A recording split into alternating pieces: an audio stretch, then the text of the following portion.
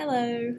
So I want to get up here and talk a little bit about critiques. So after you get done with your poster project, you will be required to post a JPEG and have the class come in and critique your work, which may make you a bit nervous, but there is a lot of advantages to getting critique, your a critique from fellow students in this program, and it's something you really need to get used to doing.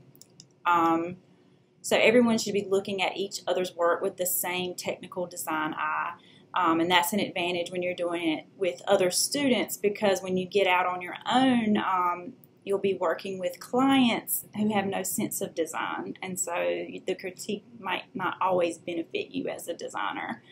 Um, and it's really great if you're extremely proud of your work, but um, and you would prefer no changes. But as a designer, your job is to to create work that solves a client's problem. So, not necessarily something that um, you're going to fall in love with. So, um, don't take it personally. Um, every, you know, all the feedback that you get, just take advantage of it and uh, step back and actually um, look at it.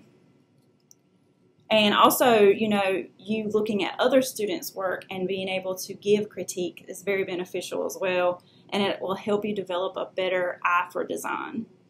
Um, so, when you're looking at other students' work, you know, just remember the objective of the poster um, that you were asked to design. So, is it visually exciting?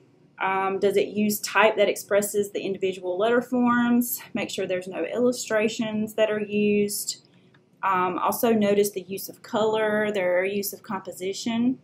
Um, and start out with things that you like about it and then maybe go into some things you might change or um, some recommendations you might have.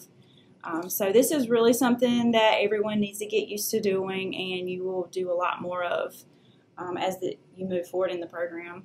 So, thank you.